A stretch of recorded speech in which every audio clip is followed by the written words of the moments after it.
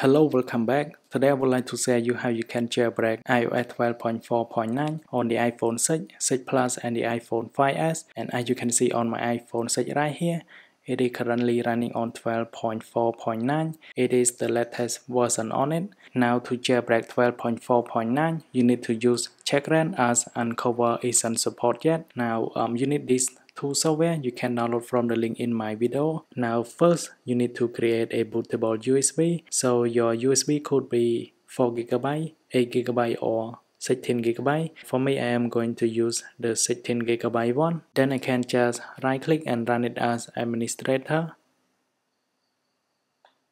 And then you can select on flash from file and you need to select your ISO file that you have download. Then you can double click on it it should be open. And finally click on flash.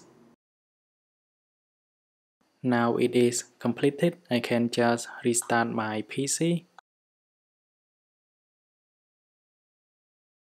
as soon as my PC turn black I can hit on escape key multiple times to go to BIOS. So um, for those of you that have um, other PC so like for example if you have Dell you can press on F12 and if you have the other model you can check from um, Google for an example. So you can find there are a ton of information about that.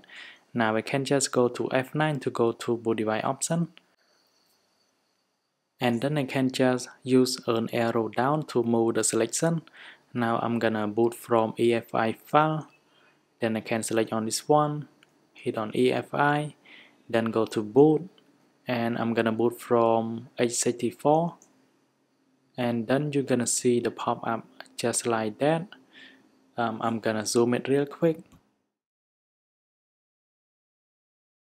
So you can see if you want to run checkra1n you can simply hit on Alt plus F2 now I'm gonna hit on my keyboard. I can just press on Alt and then F2 at the same time then it should be able to launch checkra1n as you can see.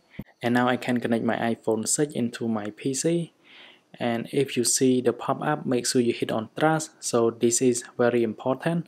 Otherwise your jailbreak uh, will be failed. Now hit on trust.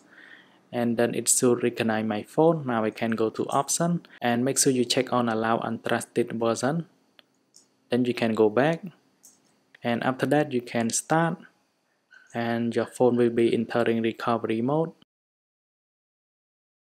Now before I begin the jailbreak process, I'm gonna tell you some instructions. So in order to jailbreak your iPhone 6, 6 Plus and the iPhone 5s, you need to hold on the power button plus the home button for about 5 seconds and after that you, you can release the power button but keep holding the home button until you see um, checkra1n and then you can release it. Now we're gonna start.